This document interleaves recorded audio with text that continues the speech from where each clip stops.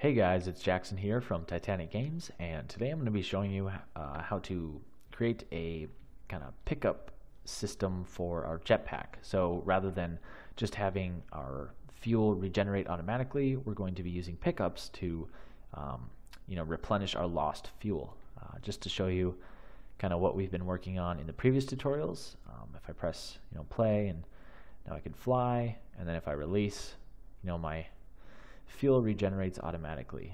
And then, um, yeah, so our goal is to, um, you know, switch that up so it only regenerates from picking up fuel, and then we want to be able to fly all the way up to um, this platform.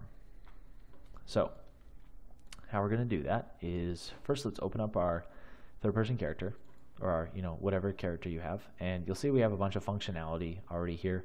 Um, what we're going to do is we're actually going to delete a good chunk of this. Um, first thing we want to do is over here at the end, we'll delete all this. Um, next we can delete this whole little functionality and then we can delete this timer as well. And lastly, we'll delete this clear and invalidate. All right. So um, with this clear and invalidate, we'll just drag it over here so it's closer to the deactivate. We'll hook that up. And that's actually all we need to do um, in, as far as modifying our original um, setup. So that's all good. Now the next thing we need to do is we need to add um, like a function that will help or that will allow us rather to add more fuel once the function is called. So to do this, let's go to functions, add a function. We'll call this add fuel. Now the, the premise of this is we're you know just basically adding fuel. So super simple stuff. Um, drag off of here and say set current fuel. All right, so we know that we want to set it to some value, and what we want to set it to is current fuel plus some value. Now, for this value, I'm going to promote it to a variable, and I'm going to call this um, fuel regen amount. And to avoid confusion, I'm actually going to delete the regen rate because uh, we don't even need it anymore, so it'll be fine. Now you can see our default value is 1. Um, let's bump that up to like 25. So, um, so whenever we add fuel, right, we're going to add 25. All right, so that's good to go there. Um, what we need to do now is we actually need to perform some checks, right? Some checks to see if um, well, first of all, if we need any more um, fuel to add, and then also we need to make sure that we're only adding the right amount. So first, let's drag off and say branch. And for this one, we will check to see if our current fuel is um, is less than or equal to our max fuel. Because if it is, then we know that we want to add some fuel. All right, so off of true now, we have to do another check. So do a branch. Now for this one, we want to check and see if um, we want to check and see basically if the difference between our max fuel and current fuel is less than or equal to the fuel regen amount. Uh, because if it is, then we only want to um, fill our you know, fuel up to a certain amount rather than adding the full amount. So to show that, let's take max fuel, get it. We'll subtract float by float, drag current fuel and drop it. And then take the return value and say less than or equal to float. And then we want to connect fuel regen amount to there. And then plug the Boolean uh, return value into condition. All right. So now, um, instead of connecting this from true, let's break the link by, I just alt click to break the link. We want to connect this to false um, because if this difference um, isn't less than this amount, you know, if it's greater than 25, then we're going to want to add the full amount. Um, so for true though, we're only going to want to add enough to fill it to um, the max fuel amount. And to do that is really quite simple. Let's you know take our current fuel, Control W to duplicate, connect true to it, And all we're going to do is just set our current fuel equal to our max fuel. So there we go. Just like that, our function is ready to go.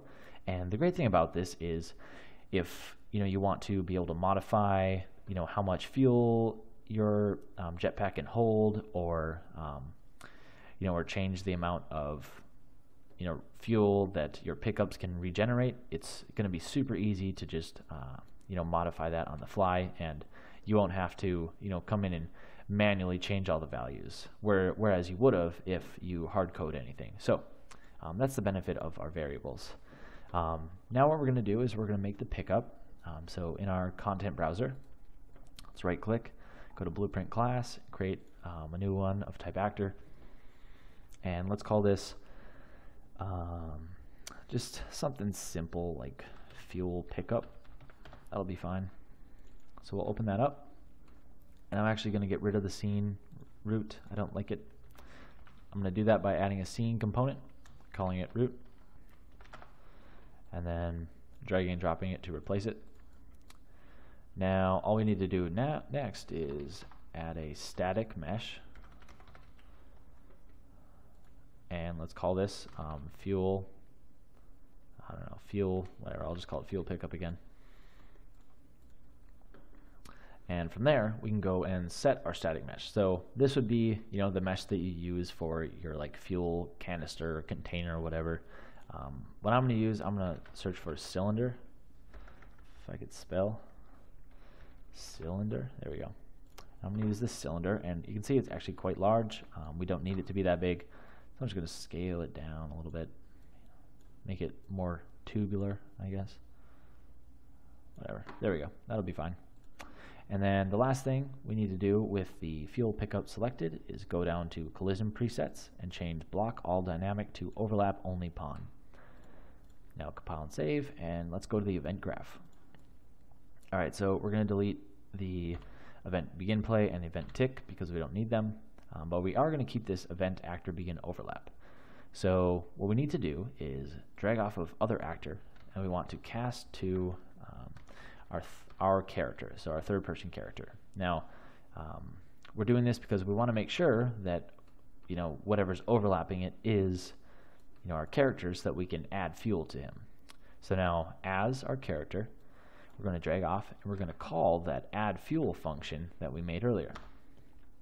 Um, so just like you can um, get variables and such from uh, from your character, you can also get different functions that you've made for them. Um, and so that can be super helpful.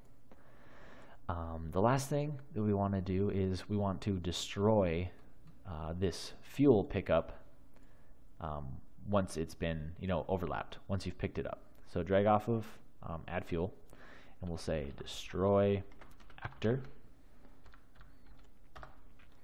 it automatically sets the target to self, which is perfect. So compile and save. And then um, now we can go out to our, uh, you know, our game and we can start putting uh, these fuel pickups wherever we want. So um, I already tested this out and I know it's difficult to reach this one without a fuel pickup. So I'm going to add one right here. And then I'm going to come up to this platform because, you know, our goal is to get to that one. And I'm going to add um, one, two, I'll just add three just for safety. I definitely want to win in this tutorial. so um, with those added, now we can play. So if we press play, I start flying up, right, I'm losing, uh, but then when I, uh, yeah, I was losing the fuel just like that. But then obviously when you release, um, it's not going to start regenerating anymore. We need to pick up our fuel. So if you watch this, boom, I picked it up and I got more fuel. All right, so now I can try to make it to that platform. So I'm to fly, Hopefully I make it. Ooh, made it. Alright, so now I can pick up these. Perfect. And if I pick up this one, see it almost filled filled it up full. Um, and now let's make it to that last one. Fly, fly, fly. And there we go. You win. Woohoo. So that's kind of how you set up um, the basic pickups. And Uh, that setup, it's pretty transferable to other types of pickups. So, you know, if you wanted to add health to your character, you could do that as well, or, you know, add stamina or really add whatever. Um, you could do it in a very similar way. So, um, thank you. And if you want to see more, you know, like or subscribe or, or whatever. And I will see you in the next one.